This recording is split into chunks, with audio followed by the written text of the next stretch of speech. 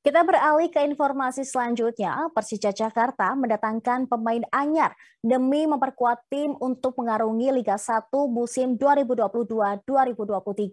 Setelah mendapatkan hasil buruk di turnamen pramusim Piala Presiden 2022, tim Macan Kemayoran terus berbenah. Untuk diketahui pada ajang turnamen Piala Presiden tahun ini, Persija Jakarta harus tersingkir di fase penyisihan grup. Dan lebih buruknya lagi, dari empat laga yang dilakoni di babak penyisihan grup, Persija Jakarta selalu menelan kekalahan. Dengan hasil tersebut, tim asuhan Thomas Doll itu berada di dasar klasmen tanpa raihan poin. Kini secara resmi Persija mengenalkan gelandang asal Jerman Hanno Bahrens. Hanno Bahrens akan mendapatkan durasi kontrak tiga tahun bersama Persija Jakarta. Ia menjadi pemain asing ketiga yang didatangkan Persija dalam menyambut Liga 1 setelah Ondrej Kudela dan Michael Kremencik. Dalam rekam jejak sejarah, Hanno Bahrens menjadi pemain Jerman pertama yang berseragam macan kemayoran. Pelatih Persija Thomas Doll berharap besar kedatangan Hano bisa menyempurnakan sistem permainan tim agar menjadi yang paling tangguh di musim depan.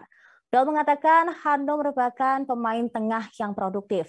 Hal ini terbukti selama karirnya, Hano berhasil mencetak total 54 gol.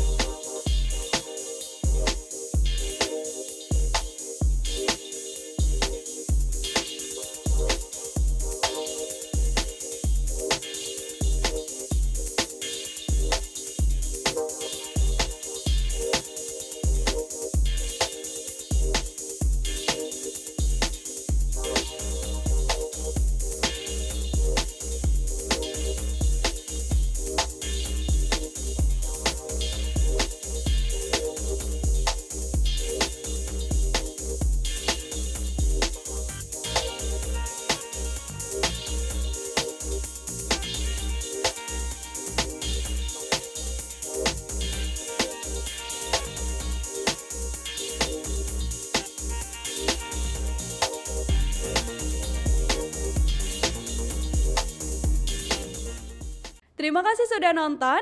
Jangan lupa like, subscribe, dan share ya.